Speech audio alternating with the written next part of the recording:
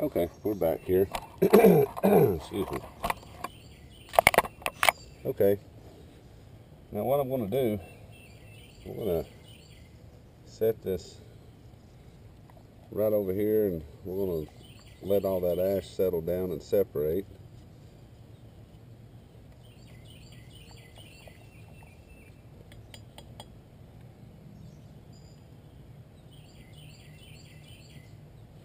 All right. Now, you know, in the norm, I guess, uh, you're really after a big old batch of uh, trying to make a big old batch of that lye soap, I guess uh, it'd pay to try to render down quite a bit more. But I'm after just really a small bar. Like I said, sometimes you just got to stop and you've got to replenish some of your stuff. And uh, soap is one of them for me. And we're going to try to do something else too. Okay, I've got some coals down there, but I'm kind of curious. I'm going to take a look at this. It's been a little while. Well, I like this little system here. I like that a lot. Works good with my cooking system.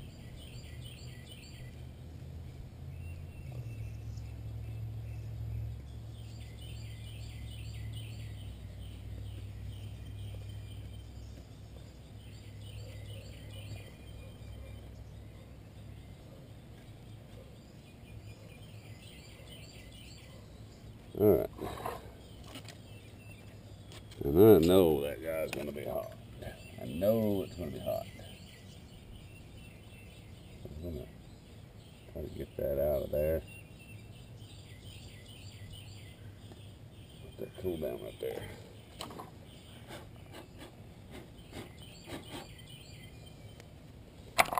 Let's put it on over here.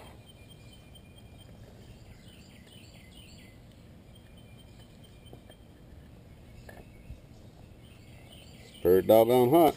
Tell you what, I'm gonna come back on there in just a second and show you guys what we have. All right. Well, I'm a little tickled. Well, know what I got down in there. Let's take a look at that. Now that's pine tar.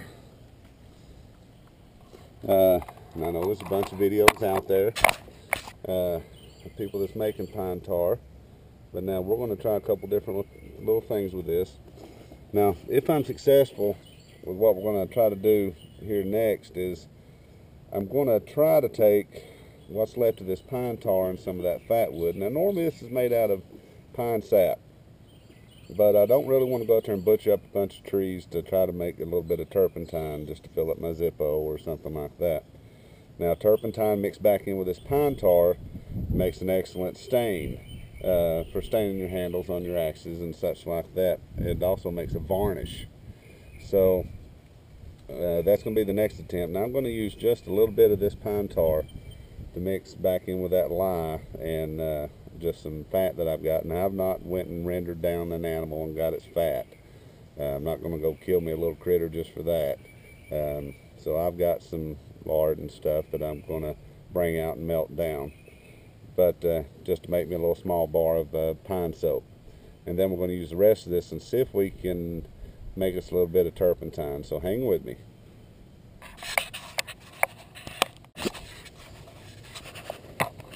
Alright. Now I've already mixed off camera um, some of the, the, the, lard I had and uh, I took some of the lye water off the top and mixed it in some of the car. And I got it just sitting there in that little BB tin right there, just heating up in those coals. Let's take a look and see what we've produced as far as coals.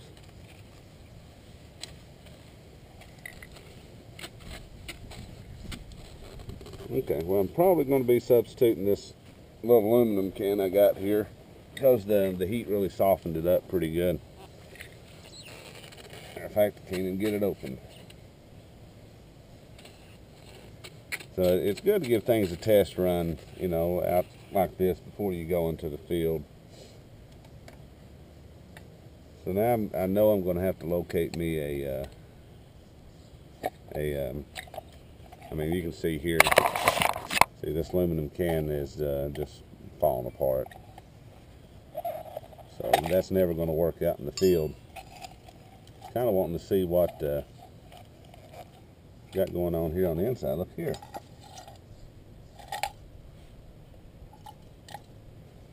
Well, that's some nice char. Can ain't no good. I'm going to have to get me another stainless steel one to substitute that one with. That's just never ever going to work. But what I can do is put me a little bit of this char in my tinder can. So that's another resource we've uh, managed to come up with here. So hopefully we're going to end up with some soap. Didn't take too awful long to make. Uh, generally, I guess you'd make it while you were cooking. So I'm going to salvage me some of this charcoal here, put in my tinder can, so I'll have that.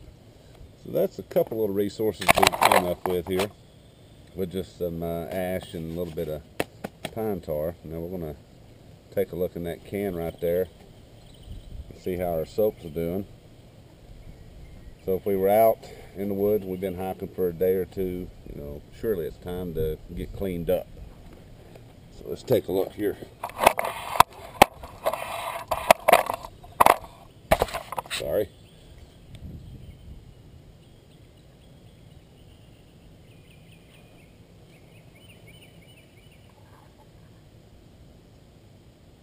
Okay, it's still melting here.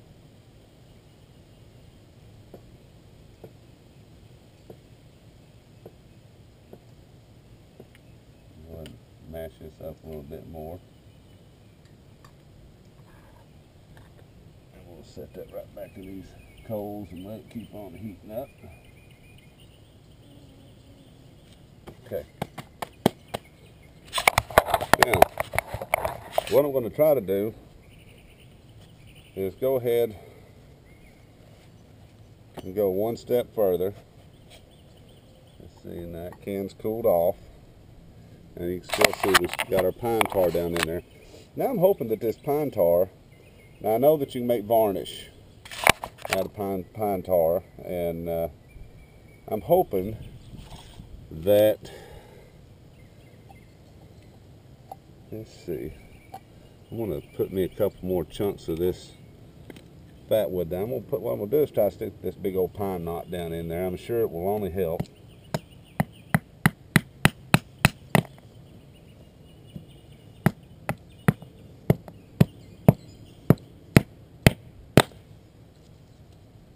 Wow.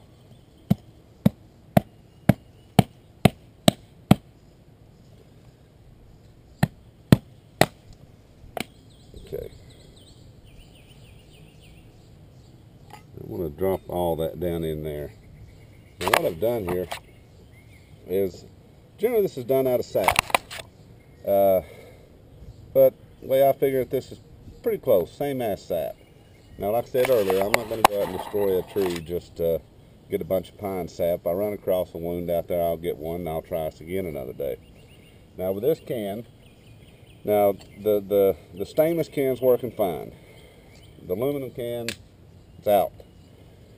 But now what I've done with this salt shaker can, the mason jar lid fits perfect onto this can.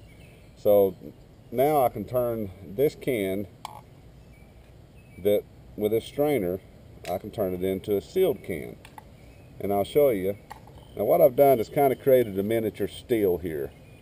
Uh, it's just a piece of copper flashing down in here that I've soldered this quarter inch tube on. And what I am hoping is that this will be a sealed enough container that we can put this back in the fire just like we did with the uh, making the pine tar. So now that's good and sealed. And that we can put this back in fire, heat it up again, but instead of getting the pine oil out of it, the tar, we're going to try to distill it back down through here, and what'll come out this end, hopefully, will be some kerosene, uh, or not kerosene, but uh, turpentine, and uh, pretty positive turpentine is, is flammable. So might be a good way to fill up a Zippo. So I'm going to get this back on the fire and I'll fill you back in on the soap here in just a few minutes. We're going to get this rolling and see if we can get this to produce any turpentine.